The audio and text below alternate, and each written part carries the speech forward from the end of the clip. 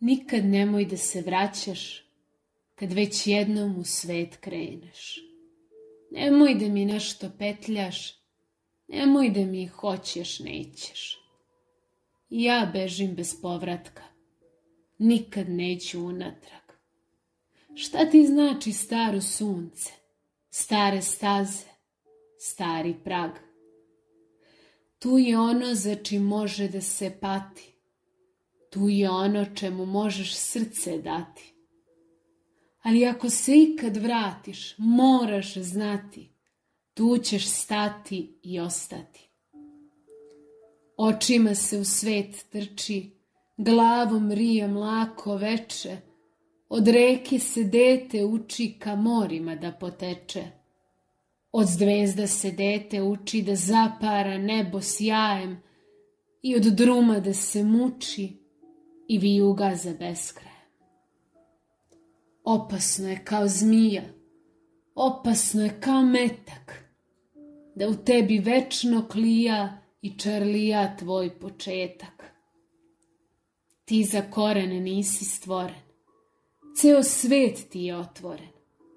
Ako ti se nekud žuri, stisni srce i zažmuri. Al kad pođeš, nemoj stati, mahni rukom i odjuri. Ko zna kud ćeš, ko zna zašto, ko zna šta te tamo čeka. Ove su želje uvek belje, kad namignu iz daleka. Opasno je kao munja, opasno je kao metak, da u tebi večno kunja i muči se tvoj početak.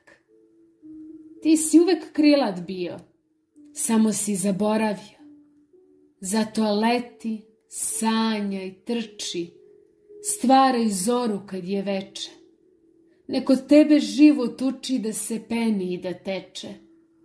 Budi takvo neko čudo što ne ume ništa malo. Pa kad kreneš, kreni ludo, ustreptalo, radoznalo. Ko zna šta te tamo čeka? U maglama iz daleka. Ali ako se i pozlatiš, ili sve teško, gorko platiš, uvek idi samo napred. Nemoj nikad da se vratiš.